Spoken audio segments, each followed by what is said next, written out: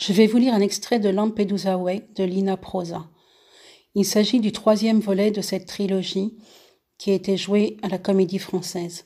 Le premier, Lampedusa Beach, publié en 2012, est le récit de Shaoba, jeune africaine qui se noie au large de l'île de Lampedusa, en Italie.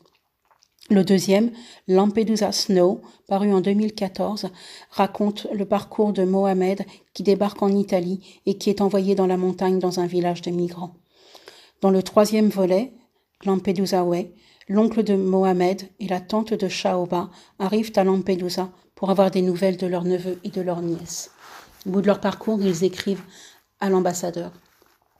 Monsieur l'ambassadeur, chef de tous ceux qui sont à l'étranger, je suis Mahama l'Africaine, avec trois F. J'écris aussi au nom de Saïf.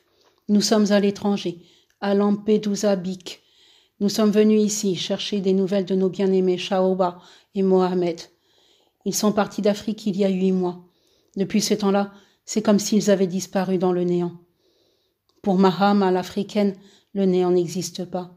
Je sais que quelque chose se cache quand on ne répond pas à une question. On a retrouvé les traces de l'arche de Noé, bien que ce soit sur une montagne.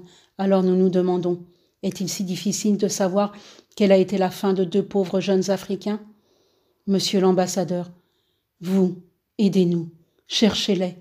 Vous connaissez l'étranger à la perfection. Cherchez-les comme si c'étaient vos propres enfants. Et si vous n'avez pas d'enfants, cherchez-les comme si vous cherchiez votre mère. Nous ne savons plus que faire.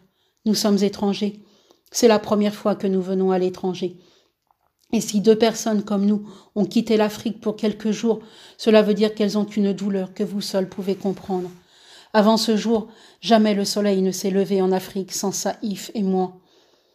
Pouvons-nous donc revenir en arrière sans une seule nouvelle de Shaoba et de Mohamed Le capitaliste devait nous donner des nouvelles, mais il est tombé en disgrâce. Il ne peut, tout au plus, que nous dire un quart de la vérité. Il ne se montre pas, il a honte, il ne nous reste que vous. Trouvez-les, peu importe où. Saïf et moi, nous vous serons reconnaissants toute la vie. Nous vous apporterons un cocotier tout entier et vous le planterez dans votre jardin. Nous ornerons vos affaires étrangères avec la meilleure pièce de notre terre. On reconnaît facilement Shaoba et Mohamed. Shaoba, 25 ans, grande, belle, elle a avec elle une noix de coco. Elle est venue à l'étranger pour être employée de maison dans une famille capitaliste de Rome la ville du pignon. Le teint de Shaoba est d'une couleur indéfinissable. Pouvez-vous imaginer l'aube qui surgit dans un ciel exposé à la pluie? Elle est un peu sombre, mais pas trop. Elle ressemble peut-être davantage au moment opposé du jour, quand le jour s'achemine vers son crépuscule.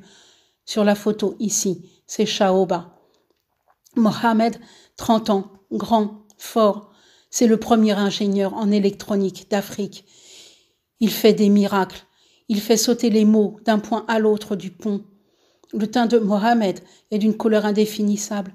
Pouvez-vous imaginer que l'on regarde au fond d'un puits et que la couleur du fond change quand elle est atteinte par un rayon de lumière? C'est ça, Mohamed. Il a une couleur changeante. Ça dépend de la manière dont on le regarde. Voilà sa photo. Ne vous étonnez pas pour l'éléphant.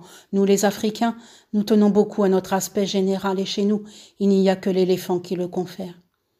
Monsieur l'ambassadeur, pouvez-vous nous, pouvons nous vous demander une autre faveur, même si ça sans doute rien à voir avec Shaoba et Mohamed? Pouvez-vous nous dire pourquoi il vaut mieux ne pas manger de thon par les temps qui courent? Nous avons confiance en vous et nous attendons avec anxiété de vos nouvelles. Écrivez-nous à l'adresse du grand bateau. Ils savent là-bas qui nous sommes. Nous vous remercions dès à présent et nous vous saluons de tout notre cœur. Signé Mahama et Sahif.